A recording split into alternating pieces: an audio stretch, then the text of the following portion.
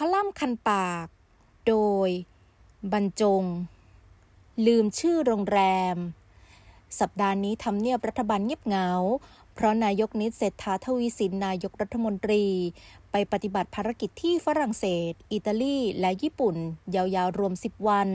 พร้อมด้วยทีมโฆษกรัฐบาลสาวเนเน่ รัฐเก้าอินทวงสุวรรณคิรี รองโฆษกประจำสำนักนายกรัฐมนตรี ที่ได้ร่วมทิปไปด้วยในงาน Thailand France Business Leaders Roundtable ที่ฝรั่งเศส จากนั้นเยือนสาธารณรัฐอิตาลีอย่างเป็นทางการ และการเข้าร่วม International Conference on the Future of Asia ครั้งที่ 29 ที่ประเทศญี่ปุ่น ช่วงนี้ด้วยภารกิจเดินสายของนายกนิดเยอะตั้งแต่ลงพื้นที่จังหวัดสุพรรณบุรี กาญจนบุรี ราชบุรี และเพชรบุรี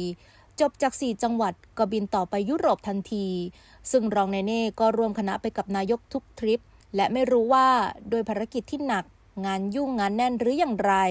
ช่วงนี้รองเนเน่เลยมีอาการหลงหลงไปบ้าง โดยหลงที่ว่าคือหลงจริง ๆ เพราะเจ้าตัวหลงทางหาที่พักตัวเองไม่เจอ โดยก่อนหน้านี้ช่วงที่ไปภารกิจต่างจังหวัด มีเรื่องเมาส์ที่เจ้าตัวยอมรับว่าเป็นเรื่องจริง ว่าหลังเสร็จงานลงพื้นที่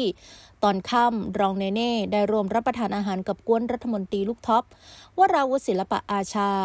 รัฐมนตรีว่าการการพัฒนาสังคม และความมั่นคงของมนุษย์ หลังรับประทานอาหารมื้อค่ำเสร็จ ทุกคนแยกย้ายกันกลับโรงแรมที่พัก เหลือรองเนเน่ที่ต้องหารถกลับ ซึ่งบังเอิญรัฐมนตรีท็อปกำลังจะกลับที่พักพอดี เลยถามรองเนเน่ว่า พักที่เดียวกันหรือไม่ จะได้ติดรถไปด้วยกัน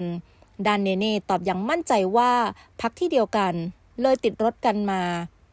กระทั่งมาถึงหน้าโรงแรม ปรากฏว่าไม่ใช่ที่พักของสาวเนเน่เจ้าตัวจำผิด แล้วก็จำชื่อโรงแรมตัวเองไม่ได้ งานนี้ถึงกับต้องโทรไปถามชื่อที่พักกับเจ้าหน้าที่สำนักโฆษกแต่แค่นั้นยังไม่จบ ทริปล่าสุดที่จังหวัดเพชรบุรี เหมือนฉายภาพซ้ำหลังมีประสบการณ์จำชื่อที่พักของตัวเองไม่ได้ รอบนี้รองเนเน่ที่มาร่วมรับประทานอาหารกับก๊วนรัฐมนตรีท็อปอีกครั้ง เจ้าตัวเลยเขียนชื่อโรงแรมที่พักไว้ที่แขนของตัวเองกะว่าหลังกินมื้อค่ำดึกแค่ไหน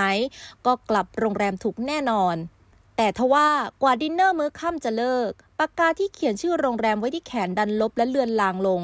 ทำเอางานเข้า เพราะจำชื่อโรงแรมไม่ได้อีกแล้ว สุดท้ายต้องรีบช่วยกันหาโรงแรมให้รองเนเน่กันอีกรอบแม่สงสัยช่วงนี้สาวเนเน่จะทำงานหนักไปหน่อย เลยทั้งหลงทาง และทั้งลืมชื่อโรงแรมเลยทีเดียว